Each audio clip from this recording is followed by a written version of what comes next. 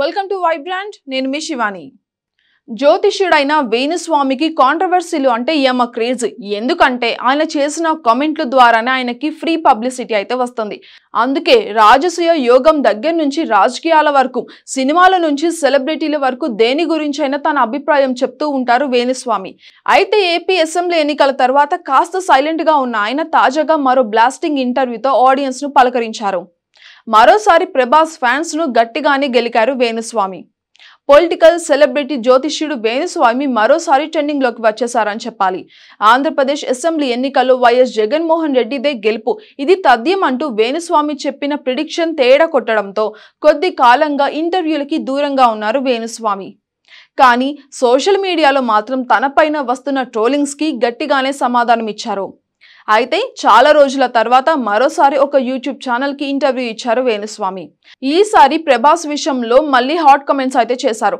రాధేశ్యామ్ సాహో ఆదిపురుషు డిజాస్టర్లు అయినప్పుడు నాకు ఎవరు దండయలేదు కదా కిరీటం కూడా పెట్టలేదు కదా అంటూ గట్టిగానే కౌంటర్లు వేశారు. ఇక ప్రభాస్ లేటెస్ట్ మూవీ కల్కి two eight nine eight AD పైన కూడా కాంట్రవర్షియల్ కామెంట్స్ అయితే చేశారు. కల్కిలో ఎవరు హీరో? బాహుబలి టూ తర్వాత ప్రభాస్కి మళ్ళీ హిట్టే రాదు అన్నారు కదా ఇప్పుడు కల్కి బ్లాక్ బస్టర్ అయింది. దీనిపైన మీరు ఏమంటారు అని అడిగిన ప్రశ్నకి వేణుస్వామి ఘాటుగానే రిప్లై ఇచ్చారు. మంచి ప్రశ్న అడిగారు మీరు. బాహుబలి టూ తర్వాత సాహో రాధేశం ఆదిపురుషు సినిమాలు డిజాస్టర్ అయ్యాయి కదా.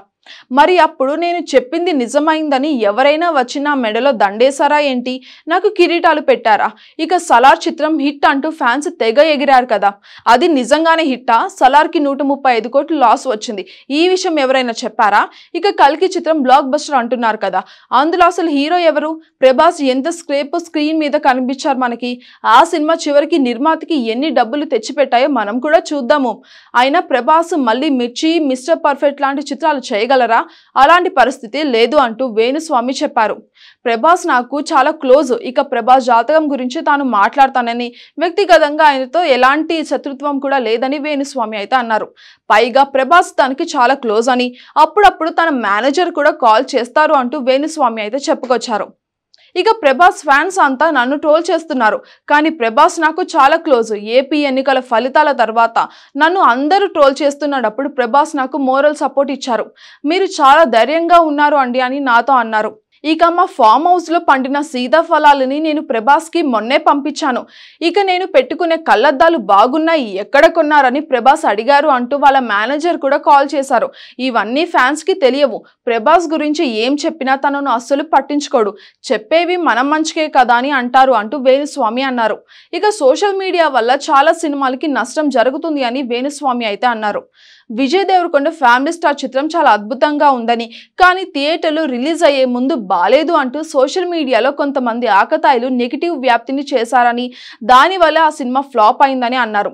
ఇక విజయ్ దేవరకొండకి చాలా నష్టం జరిగింది అంటూ వేణుస్వామి అయితే అన్నారు.